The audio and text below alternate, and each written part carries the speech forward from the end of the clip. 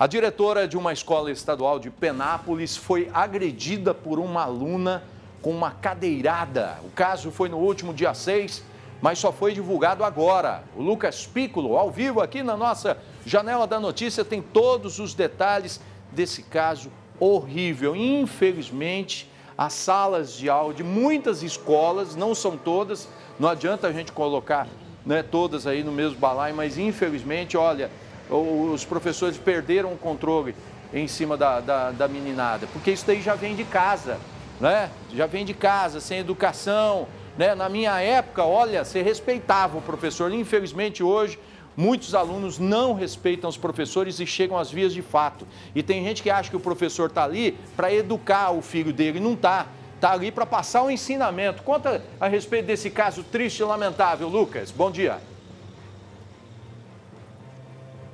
Pois é, Sandro. Bom dia para você, bom dia a todos que estão nos acompanhando. Esse caso aconteceu dentro de uma sala de aula dessa escola estadual de Penápolis. A professora estava ali aplicando a aula normalmente quando essa aluna teria se alterado, levantado e começado a discutir com a professora. Ela pediu para que a garota se acalmasse e se sentasse novamente, mas o pedido foi negado. Foi quando então a diretora e alguns funcionários do colégio foram então até essa sala de aula. A diretora foi até a carteira da menina, tentou acalmá-la. Já nesse momento, a menina teria empurrado a diretora contra a porta da sala de aula. A diretora teria batido as costas e quase caído no chão. Ela se recuperou e voltou para a carteira dessa estudante para tentar acalmá-la mais uma vez.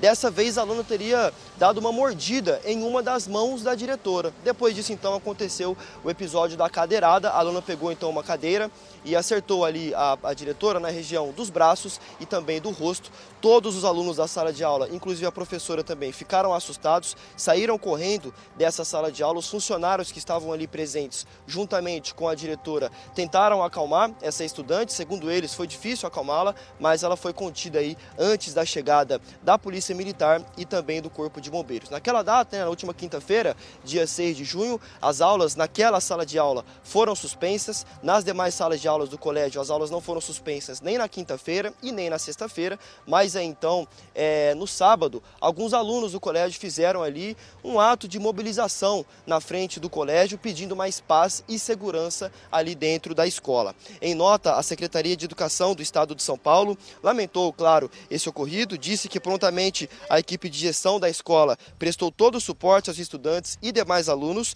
e que o Conselho Tutelar também e os responsáveis por essa estudante também foram acionados. A diretora chegou a ser encaminhada ao pronto-socorro da cidade cidade de Penápolis na quinta-feira, né, data onde esse caso aconteceu. Ela foi atendida, passou por atendimento médico e já foi liberada. Sandro.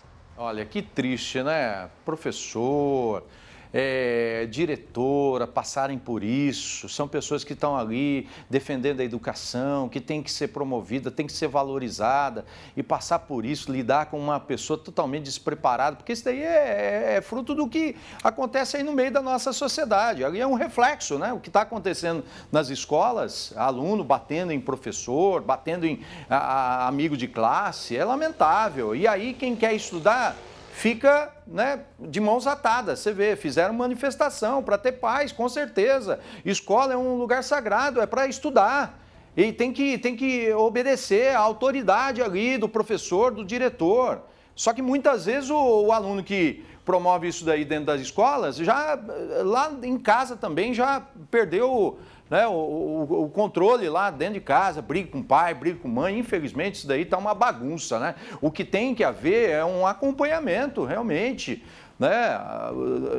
Trazer aí um serviço de acompanhamento, psicólogo, tem psicólogo aí nas, nas eh, escolas estaduais? Tinha que ter, né? Falaram que ia colocar aí, tem que ter, para acompanhar, para ver logo do início, se a pessoa de repente está é, é, tendo um comportamento meio agressivo, chamar a família para ver, chama a assistência social, né, porque senão fica complicado e aí chega às vias de fato, lamentável um fato como esse, né? É, é triste. Muito obrigado, Lucas, pelas suas informações. A gente continua acompanhando esse caso.